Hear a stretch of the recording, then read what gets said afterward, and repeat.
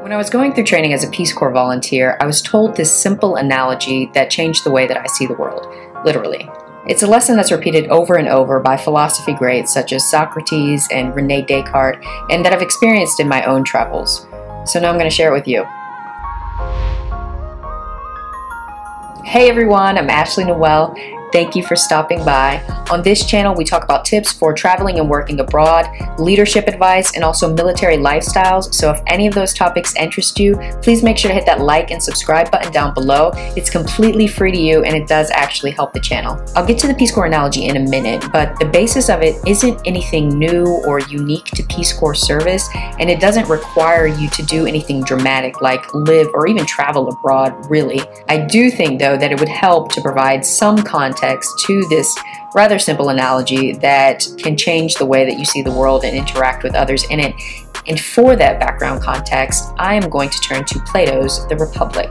Fun fact, I was actually a philosophy minor in college, and one of my favorite principles of philosophy is Plato's allegory of the cave. So, a super simplified version, it goes like this. There are prisoners who live in a cave, and they've been in that cave ever since childhood, shackled to the wall by their legs and their neck. So they can't see anything in the cave except for the wall that's in front of them. They can't move from the position where they're placed, and they can't turn their heads to see what's behind them.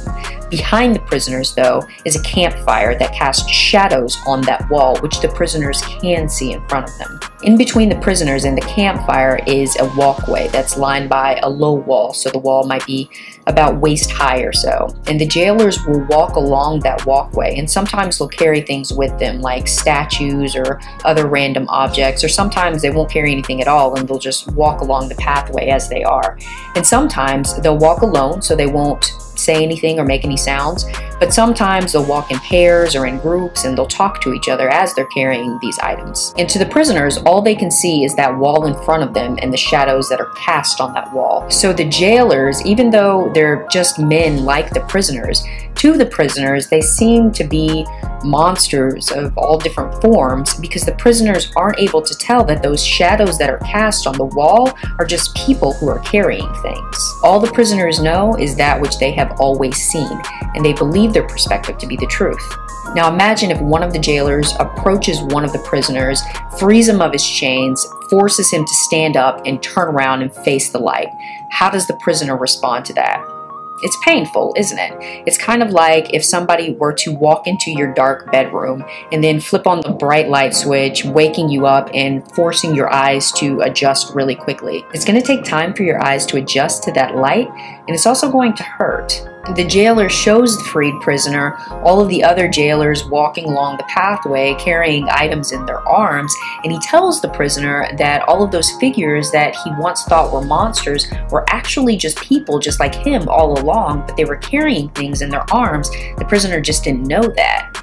How does the prisoner respond to that? The jailer is now telling the prisoner that everything that the prisoner knew before was false. It was all just shadows. And the prisoner, now that he is able to see the true image right in front of his eyes, has to process the fact that everything that he was so sure about in the past was all false and based on an extremely limited perspective. And now, the jailer drags the prisoner out of the cave and forces him into the daylight. How does the prisoner respond to that? If the light from the campfire was bad, the light from the sun is even worse. It's more painful and it takes even longer for his eyes to adjust. But as he squints his eyes and opens them a little bit more and a little bit more and gives himself time to adjust to the light, what does he see? He sees color, he sees trees, he sees mountains and rivers, the stars of the Milky Way at night, the moon in all of its phases. He sees other people just like him who are living happily in peaceful community with each other. In Plato's The Republic, when Socrates is teaching the allegory of the cave, he's doing so through a conversation that he's having with another man named Glaucon. And at this point in the story, Socrates says, If he again recalled his first dwelling and the knowing that passes as the norm there, and the people with whom he once was chained, don't you think he would consider himself lucky because of the transformation that had happened and by contrast feel sorry for them? And Glaucon responds, Very much so. Socrates continues, Wouldn't he or she prefer to put up with absolutely anything else rather than associate with those opinions that hold in the cave and be that kind of human being? Glaucon responds, I think that he would prefer to endure everything rather than be that kind of human being. But what if the man did go back down into the cave and sat back down in his old position? He would be blinded again, but this time not by the light, but rather by the darkness. And that perspective would also take some time to adjust to. And what if he tries to explain to the prisoners that everything that they know is false, it's all just shadows? And what if he tries to tell them about what he saw when he went above ground? while he's still sitting there with his eyes still trying to adjust to the darkness, barely being able to see for himself. Socrates answers this question as well. Would he not then be exposed to ridicule down there? And would they not let him know that he had gone up, but only in order to come back down into the cave with his eyes ruined, and thus it certainly does not pay to go up? That is Plato's allegory of the cave.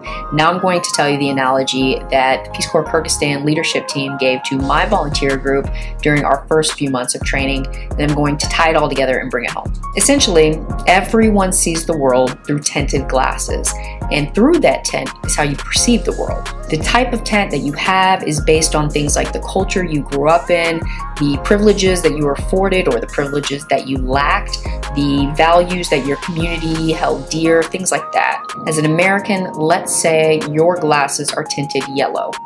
That's how you perceive the world through yellow. Well, someone from a different culture, like a Kyrgyz person, might have glasses that are tinted blue. That's how they perceive the world. Even if you, as an American, come to Kyrgyzstan and you live with a host family, so you live in their home, you eat at their table, you speak their language, you work in their communities, you live just as they do, your glasses will never be blue because they started off as yellow. But if you allow yourself to truly immerse in their culture and open up to their perspective, then by the end of your experience, your glasses will be tinted green, and that will be your new perspective. You will see the world green. And you will never be able to go back to seeing things the same way that you did when you could only see through that yellow tint. And sure, yellow will still be present in the perspective that you can see in the tint that you do have, but now so will blue, and you're not going to be able to see the world the same as those who can only see yellow, because they don't understand blue.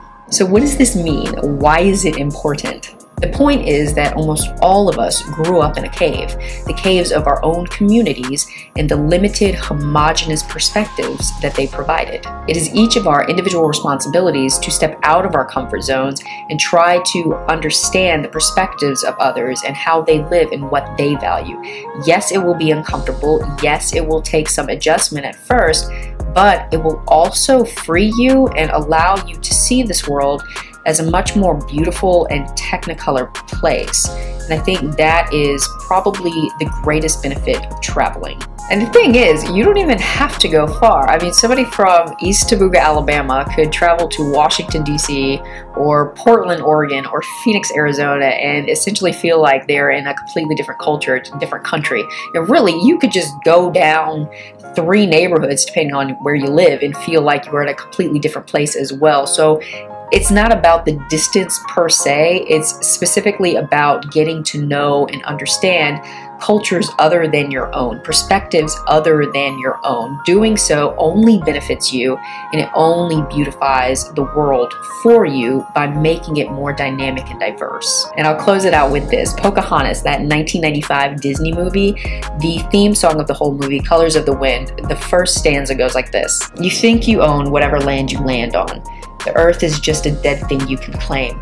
But I know every rock and tree and creature has a life, has a spirit, has a name. You think the only people who are people are the people who look and think like you. But if you walk the footsteps of a stranger, you'll learn things you never knew you never knew. I'm just saying try something new. Get out there and upgrade your glasses. If you like this video, if you learned something new, please make sure to hit that like button down below and also subscribe. It is completely free to you and it does actually help the channel and lets me know that the information that I'm providing is actually useful. I thank you for being here. I do appreciate your time and I'll see you.